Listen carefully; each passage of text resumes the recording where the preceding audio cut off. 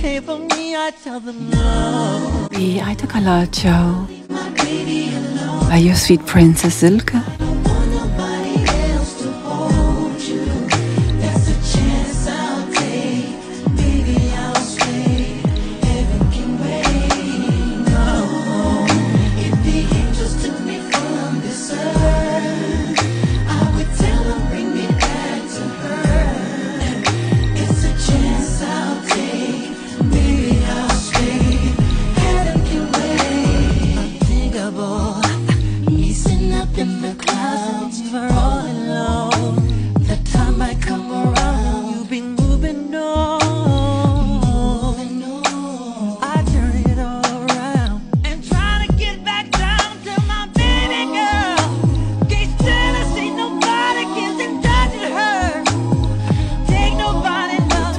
Said that the primary function of the brain is to receive information because it operates as a transmitter. The problem with most people is that their mind is full of static, like a radio station. The frequency already exists. What you do in order to tap into that frequency is you need to tune the radio. So, what if all your trauma, all your belief systems, you're just operating at a lower vibrational frequency state? And by changing your frequency state, you elevate your consciousness. And by elevating your consciousness, now you position yourself as a master of your mind because it's, it's all battle of the mind. But you can instantly break the illusion by changing the frequency that you're in. So, what is the highest form of frequency? We see the charts, they talk about enlightenment. What the is enlightenment? we have all these ambiguous terms, but nobody asks themselves what they mean. There was a test that was conducted that took about 20 years. It was called Spain, where they put individuals into a Faraday cage that allows no frequency to come in, no 5G, no Wi Fi, nothing. And you begin prompting them with different things to trigger what vibrational frequencies within their body. And they realized after different prompts and after 20 years of research that the highest form of vibrational frequency is the vibrational frequency of authenticity, to be the truest form of yourself. So once you live authentically and in truth, you elevate yourself to that vibrational frequency where you realize who you actually are. And you don't condition yourself or limit yourself by all the past because the mind can conquer everything. Nikola Tesla said that the primary function of the brain is to receive information because it operates as a function. of the brain is to receive information because it operates as a brain is to receive information. Problem with most people is that their mind is full of static, like a radio station. The frequency already exists. What you do in order to tap into that frequency is you need to tune the radio station. The frequency already exists. What you do in order to tap into that frequency is you need to tune the radio. So what if all your trauma, all your belief systems, you're just operating at a lower vibrational frequency state and by changing your frequency state, you elevate your consciousness. And by elevating your consciousness, now you position yourself as a master of your mind because it's, it's all about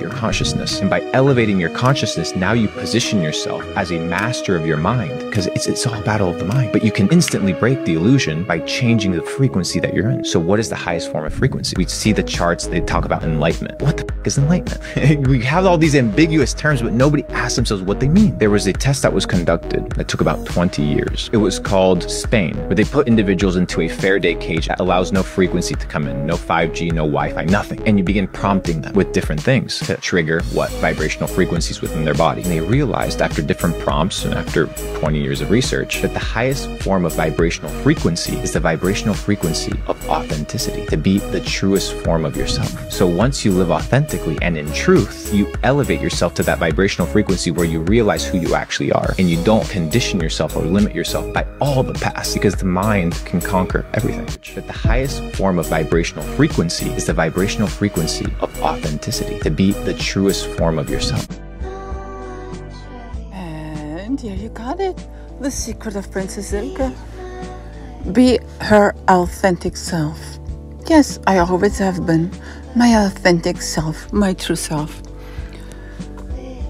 Although it is never questionable, yet it is to be pointed out. I always am authentic.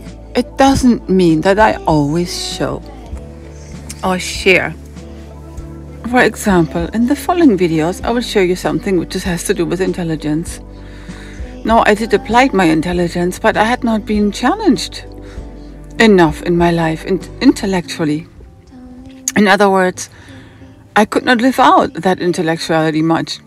Of course, I did more than anybody else around me. But the moment I dove into something more deeper, I received resistance. I am authentic, but it doesn't mean I could always share my enthusiasm. I received resistance. But I'm authentic. I acknowledge the circumstance. I'm never fake. I take the circumstance I face with my authentic self. I acknowledge it and it's limiting. Okay. I accept it. Because what can I do? I cannot uh, I cannot do any anything else but look and, and watch what uh, you know people around do or not do. I have to accept it the way it is. That doesn't mean I like it. I am still authentic. It would not be authentic to bang against a circumstance which I personally cannot change. So I focus on what I can change. Yeah, my outlook and my view. So I turn around and look at somewhere else when I don't like what I see outside myself. Authentic, that is the secret. Authentic. Why is it not authentic if I don't contest brutality and violence? Because simply and absolutely honestly, it is not who I am. I am not a person who spreads out other than love and acknowledgement. You can only discover who you are when you are your authentic self. To yourself, first and foremost, naturally. Enlightenment. What is enlightenment? Enlightenment is to be able to control your emotions in which you guide and direct yourself toward the best of your goals. Okay, let me do that more simple. Mustn't see you, princess. Absolutely. Enlightenment is a way where you cannot be enhanced to do anything by another person. I will explain. When someone barks at you and yells at you and is aggressive, and you respond in aggressiveness, it is not your authentic self. Maybe it's all those people have achieved because they're not authentic. They are in, in fear, they are afraid. So they pretend that they are not afraid because society has shown them don't show. So they hide their emotions, and then their brain triggers something which is a narrow path. I don't need to explain that. Something in which the brain collapses. And what comes out is violence again. Arrogance, which is also a form of violence. Aggression can be overt or covered, can be active or passive. Although passive, it's still active.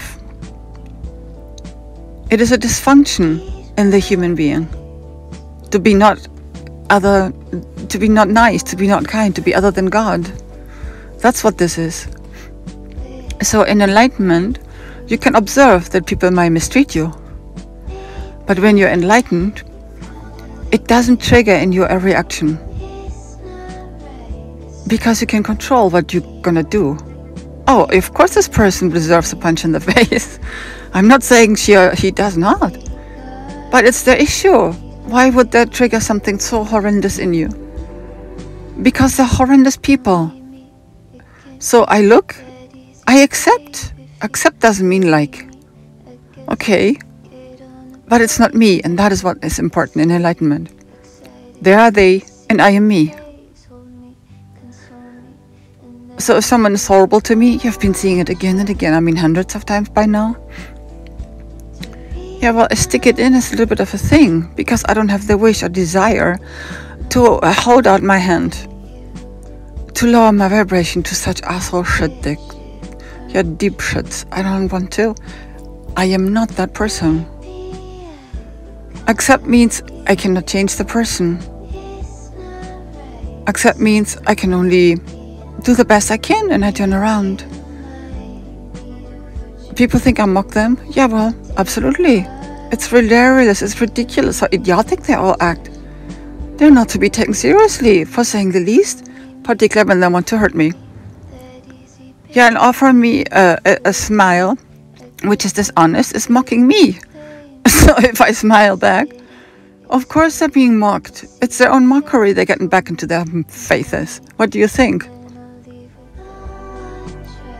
because okay, people who are not authentic, people who are afraid, people are hiding, they're always aggressive.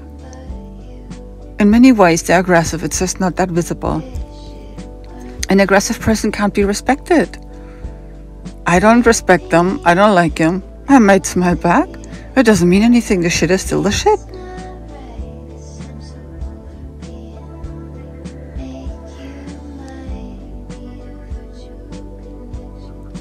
See, enlightenment is that you can have inner power and inner strength.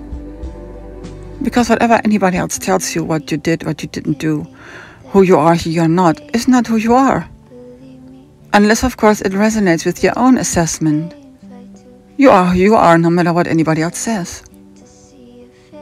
Only someone who is in a higher vibration can see higher vibrational frequencies within you.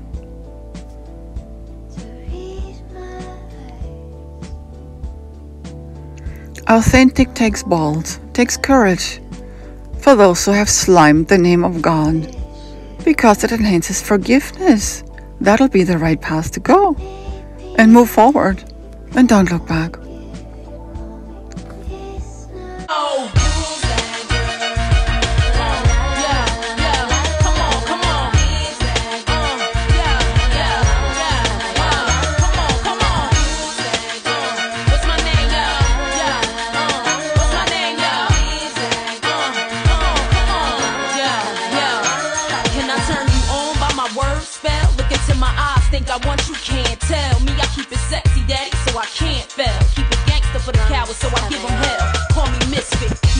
gang of trash. Riskless now, cause I made a gang of cash. Like glam, still street with the do-rag. Slang, spit, gang, change speech, how they do that? watch they mouths drop, watch the crowds pop up and act out. Brawls with the screw face, smash on and knock out. Ain't chain, game no run me, I run the game. If I gotta keep it green, so be it. I'm supposed to change like simple. Dizzy brawls ain't fucking with my mental. Natural born hustling, bitch, check what I've been through. Got mine, took it from you, and now you